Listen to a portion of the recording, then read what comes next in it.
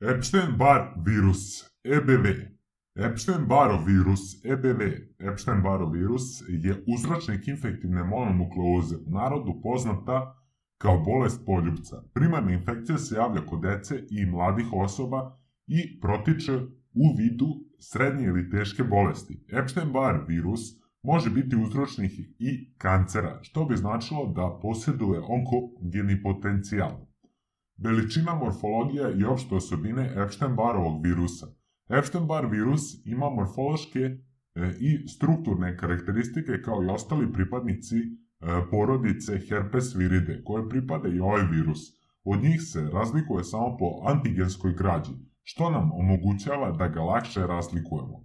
Više reči o antigenim osobinama e, bit će u nastavku teksta. Veličina ovog virusa izmerena pod elektronskim mikroskopom iznosi 120 nanometara. Virus je veoma osvetljiv u spoljašnjoj sredini i prema fizičkim i hemijskim agensima. Izuzetak je tem, e, temperatura od minus 70 stepeni Celzijusa na kojoj može biti stabilan i do nekoliko godina. Razmnožavanje i kultivisanje Epstein-Barrovog virusa. U inficiranih osoba virus se umnožava u jedru limfoidnih i epitelnih ćelija ždrela i nosa, nazofarinks. U veštačkim uslovima virus je moguće umnožavati samo u humanim B limfocitima u kojima izaziva citopatogeni efekat i pretvara ih u takozvane limfoblastoidne ćelije. Antigene osobine Epstein-Barrovog virusa, kao što je rečeno gore u tekstu, u tekstu da se ovaj virus razlikuje od ostalih pripadnika porodice herpes viride samo po antigenim osobinama. Sada ćemo ih upoznati koji su to antigeni i njihov značaj. Antigenski sastav ovog virusa je vrlo kompleksan, a samo sledeći navedeni se koriste u diagnostičke svrhe. Rani i kasni antigen virusne ovojnice, rani antigen virusnog kapsida, nuklearni antigen, antigen na površini e, virusom zaražene ćelije.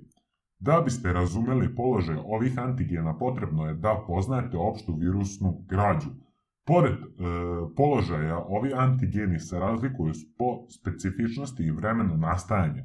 Značaj antigenskih osobina se ogleda u tome što ih je moguće identifikovati e, raznim tehnikama i tako dokazati prisustvo virusa u domaćinskoj ćeliji. Kako se prenosi Epstein-Barr virus? Virus u e, prirodni neprestano kruži, prelazeći sa čoveka na čoveka, pa je čovek jedini rezervoar ovog virusa. Oboljenje koje izaziva ovaj virus je veoma zarazno, pa se lako prenosi direktnim kontaktom ili poljubcem. Epstein-Barr e, virus simptomi. Epstein-Barrov e, virus je uzročnik infektivne mononukleoze, bolest dece i adolescenata koja se manifestuje sa povišenom temperaturom, uvećanim limfnim čvorovima i faringitisom. Inkubacioni period mononukleoze traje od 30 do 50 dana.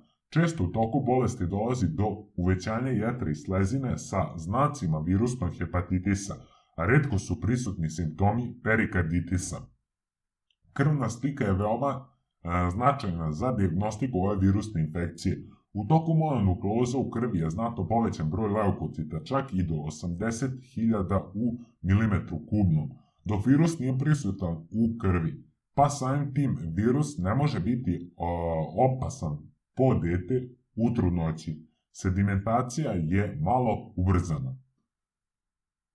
Epstein-Barr virus je pronađen u uh, Burkitovom limfomu. Burkit limfoma je pojam za tumor E, donje vilice kod dece kao i u e, nazofaringealnom karcinomu. Komplikacije infekcije EBV-a i ovaj virus može da e, uspostavi latentnu infekciju sa sposobnošću povremene reaktivacije. Kod osoba sa oslabljenim imunitetom infekcija ovim virusom može da pogorša opšte stanje bolesnika i da dovede do letalnog ishoda, na primer HIV bolesnici, Takođe može izazvati komplikacije i limfoproliferativna stanja u transplantiranih osoba.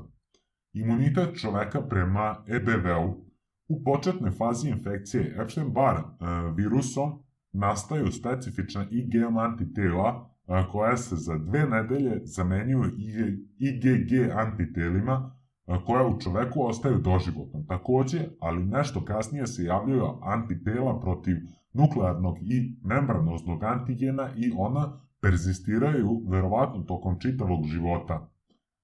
EBV diagnoza. Virus se može izolovati iz ispirka ždrela, a identifikacija se može izvršiti pomoću elektronske mikroskopije, antikomplementarne metode, fluorescentne mikroskopije, Western blot, Southern blot i in situ hibridizacionom tehnikom.